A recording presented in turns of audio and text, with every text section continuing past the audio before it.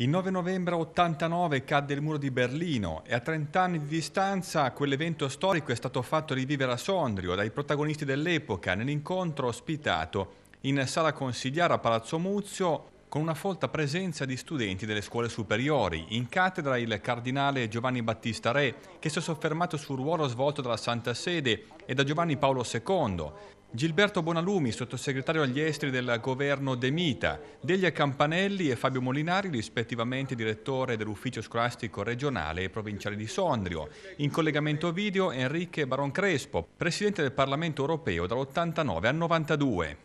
È un evento che ha avuto un rilievo mondiale, grande, grande evento. Gli alunni che erano presenti, nessuno di loro era allora nato e quindi è giusto che conoscano la storia. E certo questo è un evento che eh, ha segnato la storia del secolo scorso, eh, ha segnato il tramonto di un grande impero. La caduta del muro è stata una concatenazione di eventi positivi? Sì, certamente. Questa eh, caduta improvvisa perché prima non era prevista, è stata preparata da una serie di circostanze, soprattutto dall'affermazione dei diritti umani e una serie di coincidenze ha fatto in modo che avvenisse questa caduta del, del sistema sovietico.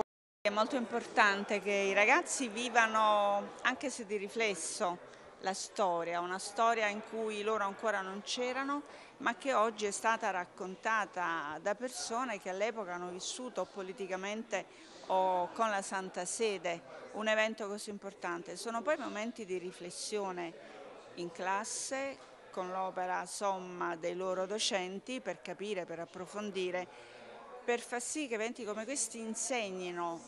Come è nata l'idea di questo convegno? L'ufficio che ho il piacere di dirigere ama un po' inseguire gli anniversari. Abbiamo deciso di lavorare sul muro di Berlino attraverso momenti di confronto con gli studenti e quello di oggi è il primo perché poi avremo il piacere di ospitare anche il Presidente Valuenza a maggio. Oggi un bel convegno con delle relazioni eccezionali e anche relatori che hanno vissuto in qualche modo in prima persona queste vicende che ormai hanno 30 anni.